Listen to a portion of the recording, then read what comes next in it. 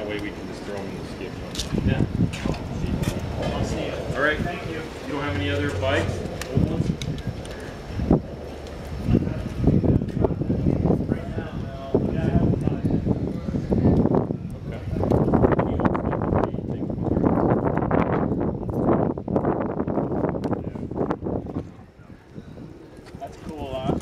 Yeah, it is.